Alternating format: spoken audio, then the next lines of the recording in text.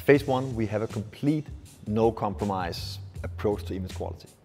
And because we essentially are one of the few companies that work on the entire range, we make lenses, we make the cameras, we build the digital backs, and we make the Capture One software. We can optimize all of these components to be one end-to-end solution, where essentially we make sure that they all play together to deliver on this, this image quality.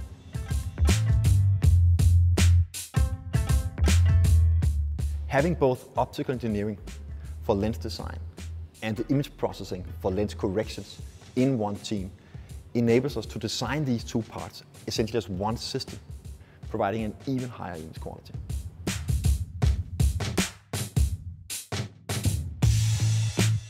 The systems we've built at Phase One essentially are designed to fit a number of different applications.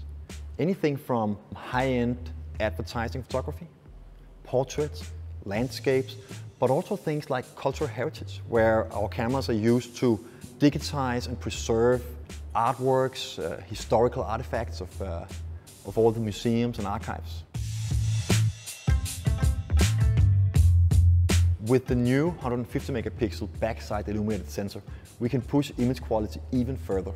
The backside illuminated technology provides much lower noise, less color crosstalk, color contamination, at the same time as a much faster readout speed, enabling faster workflows, but also new kinds of features where we can read out data very quickly and combine it in software in new and interesting ways.